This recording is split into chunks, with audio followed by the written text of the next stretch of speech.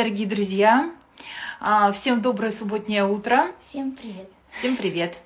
Сегодня у нас наша рубрика а, в очень необычном формате. Наши слушатели и наши друзья а,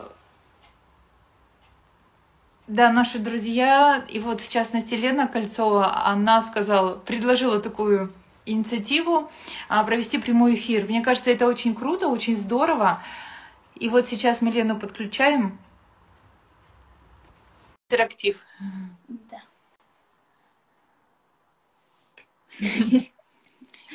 Леночка, а ты здесь?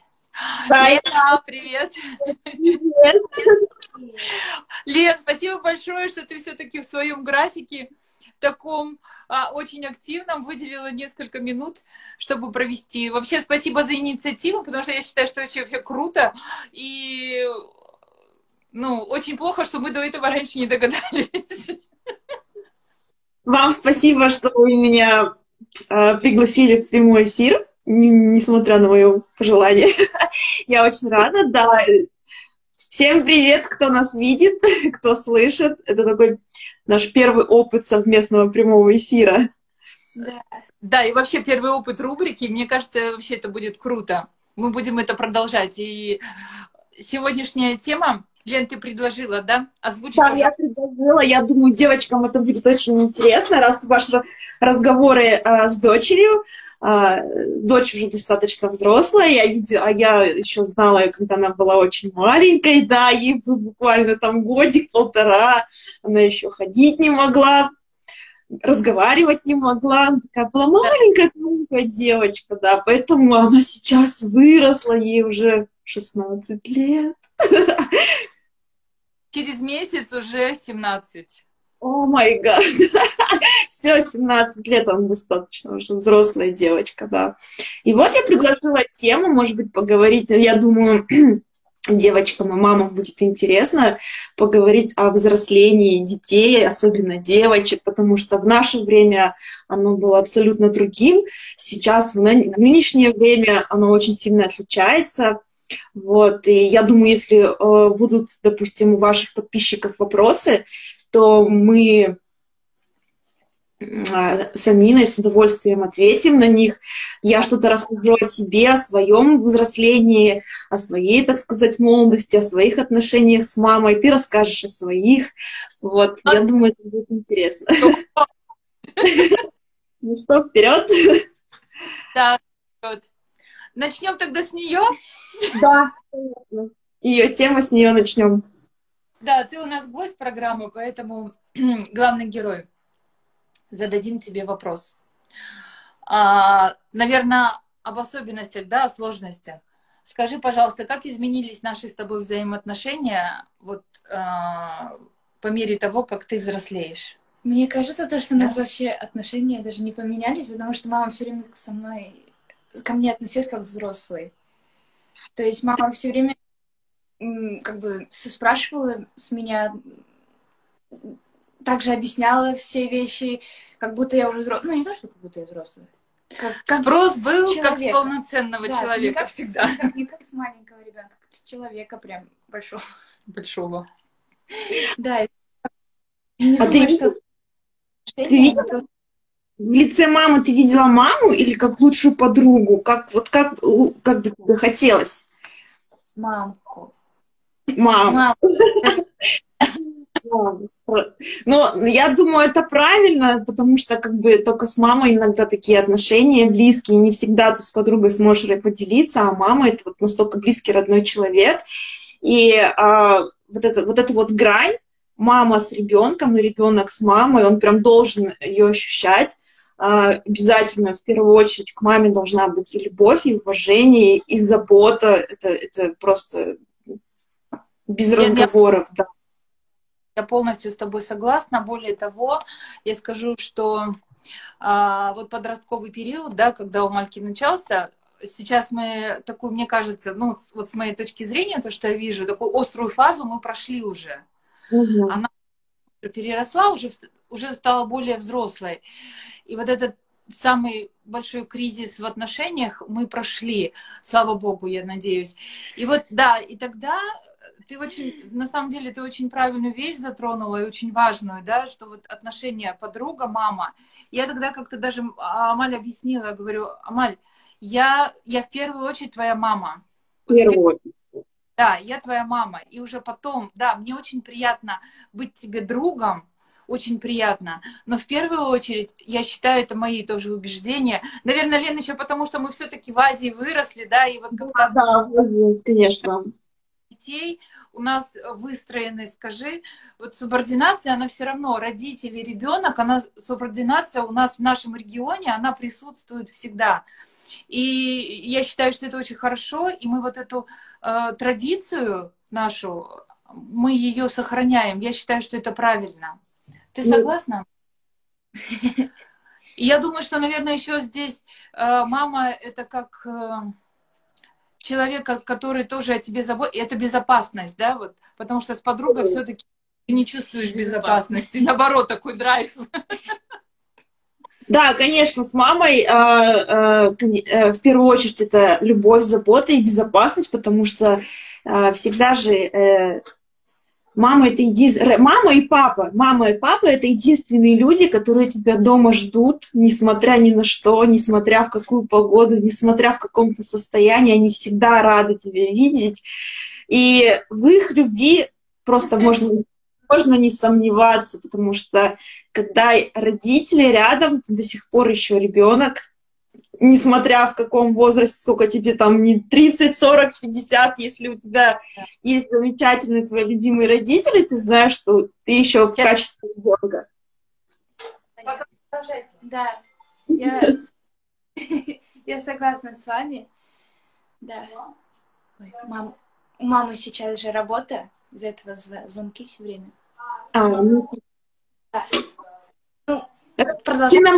Расскажи, какие у тебя, как говорит мама, у тебя прошел кризис, какие трудности у вас были, возможно, какие-то... Можешь поделиться с нами. Я не знаю, про какие мама говорили, я точно не знаю, но мне кажется... Ты показываешься? Я думаю, я могла как-то резко ответить, как-то невежливо, нахамить. Ну, как бы сейчас иногда тоже бывает, но не так часто, как, ну, год-два назад, наверное, или год. Да, а вот смотри, когда ты резко отвечала, что ты потом чувствовала? Ты чувствовала вину за собой? Анализировала поступки, допустим, что не стоило так отвечать? Да, я как-то резко скажу, тогда мама еще, ре... еще как, прям вот так вот, как какой-то вот так сделали, и потом мне становится очень э, обидно, потому что я, не, правда, не хотела маме сделать больно, а получилось так, что, в общем, большая проблема. Да, потом я так обижусь на маму, а потом на, через пять минут я такая, мама, извини, пожалуйста, потом целовашечки, обнимашечки, и все проходит. Ну, да. на, на будущее ты делала для себя анализ, вывод, что не стоит так как бы вести, что нужно немного контролировать свои эмоции и, ну, как бы не обижать, не расстраивать маму. Да, да, каждый раз все время так. Иногда бывает на эмоциях как-то мама тоже не хочет там, например, меня обидеть, но как-то просто, ну, такие вот бывают маленькие проблемы, и я начинаю как-то обижаться, и потом я понимаю, что мама уже не хотела мне обидно сделать, просто я посчитала это обидным, а это вообще ничего, ничего важного. И потом я понимаю, что маме тоже обидно бывает. Из-за этого я стараюсь не делать маме больно. Но на эмоциях бывает иногда. Но это не специально. Я все ну, время фильтровать. Молодец. А с девочками, допустим, в школе вы делитесь там, э, какие у вас проблемы там девчачьи, в семье или еще что-то там происходит в жизни интересного? Ну, как-то бывает такое, что, например, кто-то скажет просто в шутку, например, какая, ну, какая-то проблема там случилась насчет уборки там в комнате, и как бы в шутку так сказали, и потом все девочки начинают, а, да, у меня так же, у меня так же. И, ну, и про родителей как-то делимся, что, оказывается, не только, например, там у меня мама вот так вот делает, оказывается, у всех вот такие мамы. В общем, Что делает? а, Бежал, мне интересно. я делюсь с друзьями, ну, вообще, если мы делимся отношениями с родителями, да? Да, получается, э, Амаль хотела сказать, что ни у одной у нее такие проблемы, у ее подружек точно так же случаются такие казусы в семье, и там они точно так же могут на маму, допустим, где-то сорваться, но при этом они анализируют ситуацию и э, как бы делают выводы, что, в принципе, нужно немножко просто контролировать свои эмоции и в будущем так не вести себя. На самом деле, очень замечательные девочки, которые очень любят своих родителей. Это прям хорошо. Да, Бария, спасибо большое, да. Аминь, да, на все ваши, да, спасибо огромное. Я, наверное, еще тут, я немножечко выпала, да, я еще хочу сказать, что, наверное, я еще немного не привыкла к тому, что у меня дочь взрослая уже стала. И 17 лет, это да, это возраст уже такой взрослый. 18, все, уже дают права. да, и обязанности к правам тоже. Потому что э, как-то, да, я все время в Амаль видела уже такую взрослую личность, и всегда как-то спрос с нее был как со взрослой. И, и я сейчас смотрю, когда к нам уже сватаются, да, там ее многие рассматривают как невесту, уже, да, уже два года назад начали приходить к нам сваты. Я Муж- совсем маленькая пока еще. Да, муж смеется надо мной. э, Я, я до сих пор не могу в сознании у себя вообще понять, что, что она взрослая. Ник- Ну, Она уже, никак. конечно, маленькая для тебя. Да. И Это удивительно, как дети взрослеют и как уже ты, ты уже начинаешь видеть в них и поддержку, и, и заботу. Я скажу, что мне очень повезло с дочерью. Она такой у меня человек осознанный, да, она человек осознанный. И иногда мне даже кажется, что у нее в каких-то случаях больше разума, чем у меня. Не ума, а разума. Ну, это, это знаешь, чем обосновано то, что все-таки мы родились в одной эпохе, они родились в другой эпохе. У них немножко мозг уже работает э, совсем по-другому, тем более она умница, она эм, отличница, она уже в, свой, в, свой, в своем возрасте в совершенстве знает несколько языков, она замечательно программирует, да, а, конечно, у нее мозг работает совсем по-другому. Мы, мы тоже замечательно работаем в своей сфере, Да, спортом, но мы другие, наше время, эпоха, она совсем другая, она очень, очень сильно отличается. Допустим, да, мы, конечно, стараемся идти в ногу со временем, не без этого, но молодежь, как сказать, нас опережает, конечно. В этом плане с ними не поспоришь. Да. Маль, а ты скажи, пожалуйста, ты вообще как-то по себе чувствуешь изменения, что вот ты выросла, да? Ты, ты вот такая была вроде маленькая. И какие-то есть признаки вообще, показ- показатели какие-то? Я, Что-то изменилось, может быть, там деревья меньше стали, не знаю. когда мне было 12, я все время так мечтала, чтобы мне было 16. Я не знаю, почему вот именно 16. Ага. Я думала, я, наверное, такая взрослая буду, так много всего буду делать, так классно будет. Ничего не изменилось. Я такая, я 16 исполнилось, я даже не подумала, что о, наконец-то 16, сейчас что-то произойдет, что- сейчас что-то будет. Нет, такого не было. Не было. Да, у меня только, наверное, 12, 13, 14, 15. Как-то так... Нет, даже 15 не было. 12, 13, 14 было такого классно, сейчас 16, скоро. Предвкушение, да? И потом А как-то ничего не изменилось. я тебе отвечу, почему у тебя ничего не меняется. Почему? Почему, Лен? Потому что рядом такая мама замечательная, и она всегда тебе твое детство продлевает. Понимаешь, из года в год, да, у тебя ничего не меняется. Ты, допустим, как хотела эту игрушечку, пожалуйста. Теперь ты хочешь платьюшко, окей. А теперь в 16 лет, допустим, ты хочешь джинсы, и мама тебе не отказывает, потому что, в принципе, это нормально. Ребенок растет, а, э, интересы э, и хотелки, так сказать, они меняются. И поэтому, а, когда у тебя есть мама рядом, и она, так сказать, балует тебя, баловать она будет поверь мне, тебя очень-очень еще долго, ты выйдешь замуж, у тебя будут дети, и мама будет тебя баловать.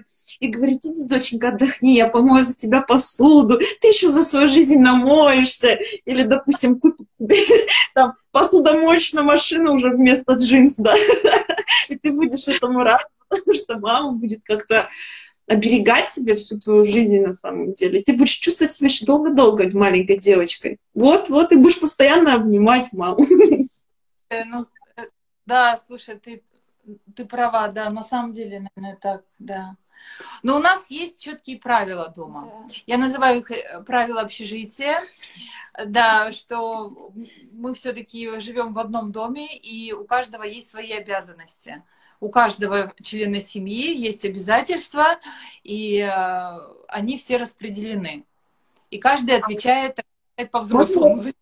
Я тебе перебью, у нас присоединяются подписчики, и твои, и мои. Давай мы просто сейчас озвучим, что я живу в Алмате в Казахстане, а Анина живет в Стамбуле в Турции, а дочку зовут Амаль, 15 лет, и через неделю будет 17.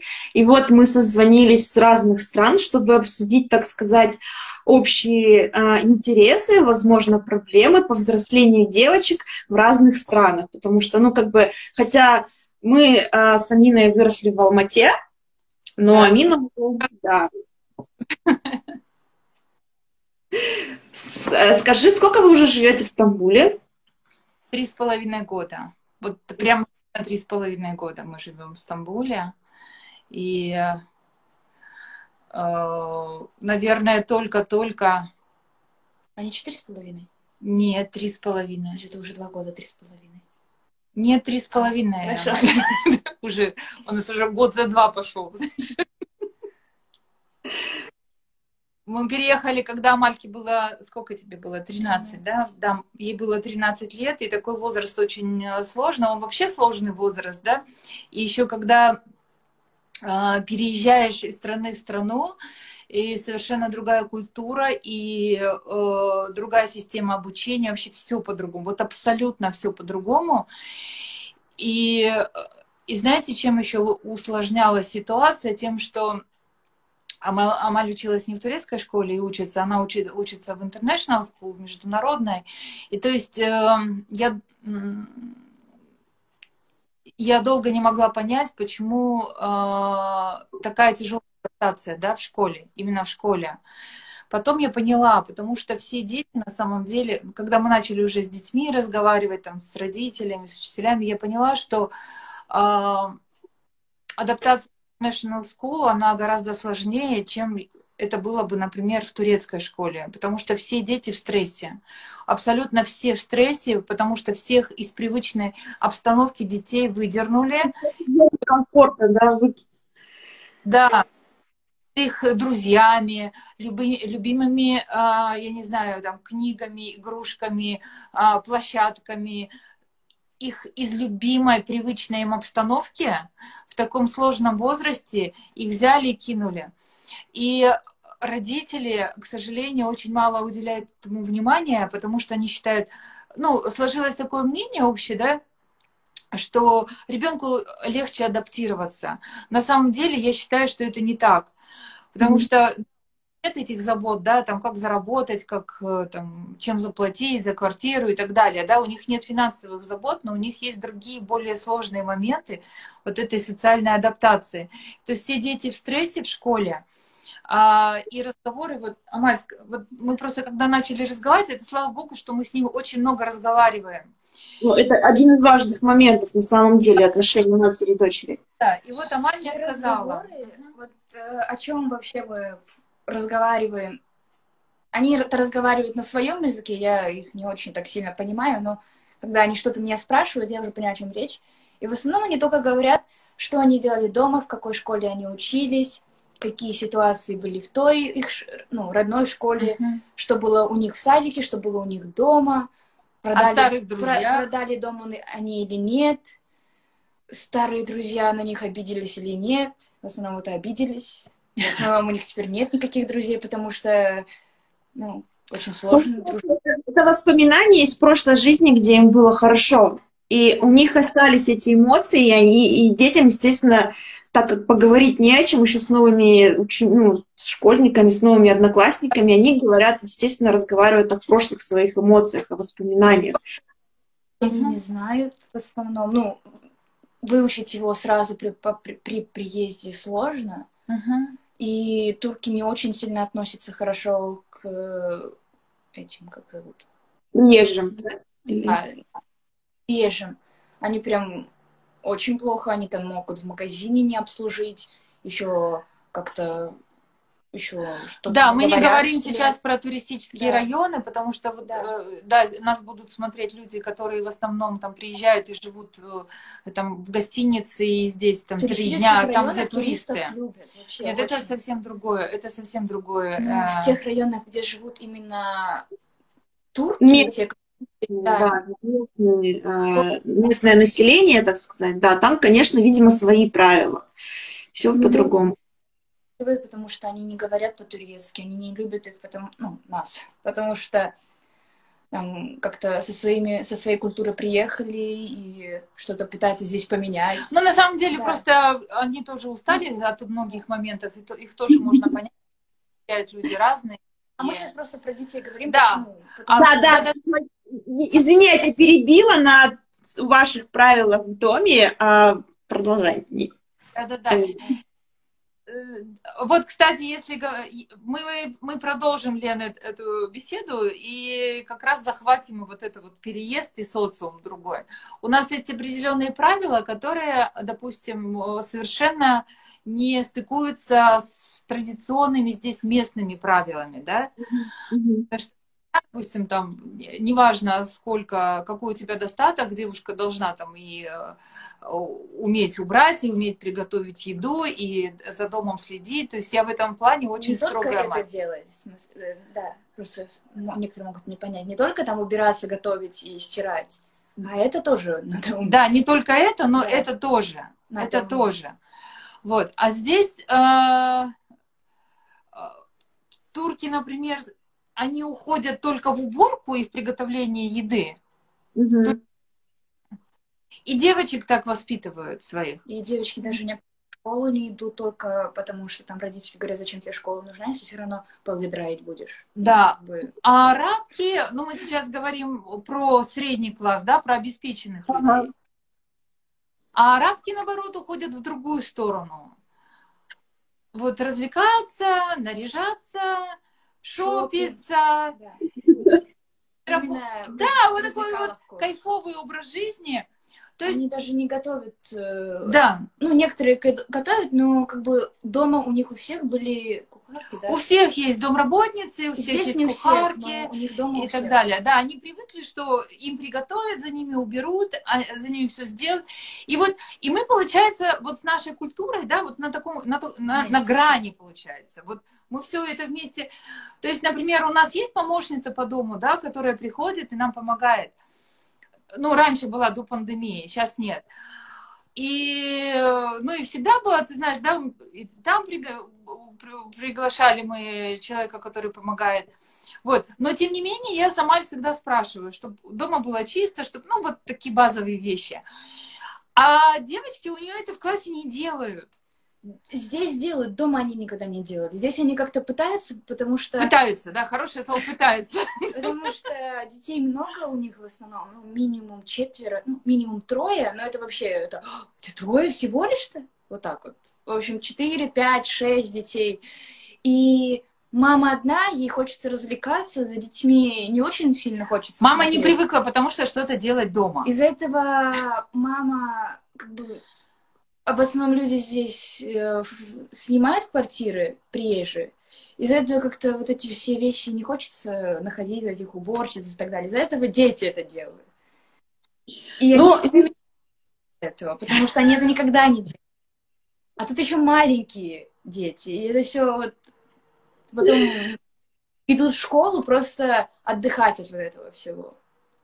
Ну, и- можно сказать, что у детей не детская жизнь, а дети все-таки у них тоже есть свои пожелания, чувства, эмоции, да, свои, своя зона ответственности, у них также есть свои зоны комфорта. И вот если в общем собрать весь наш разговор, всю нашу ситуацию, да, вот все мы где-то в душе дети на самом деле еще до сих пор. Мы не хотим взрослеть, как, как бы ни хотелось, мы не хотим взрослеть, переходить в эту взрослую жизнь, потому что там нужно работать, потому что во взрослой жизни появляются уже свои дети, а, которые все-таки еще будут оставаться детьми для тебя еще долго-долго на самом деле. А, хочу вот сказать на самом спасибо моим родителям. Я для них до сих пор еще ребенок, до сих пор мама меня где-то там жалеет, там она звонит и говорит, ну что ты там, выспалась, не выспалась, ты вчера допоздна так работала, я говорю, да, мама, я выспалась, мне приятно. Даже какие-то, вот ей хочется так сделать, мне приятно, она знает, что я люблю разноцветные носочки, она покупает мне разноцветные носочки со звездочками, с ромашками, со слониками.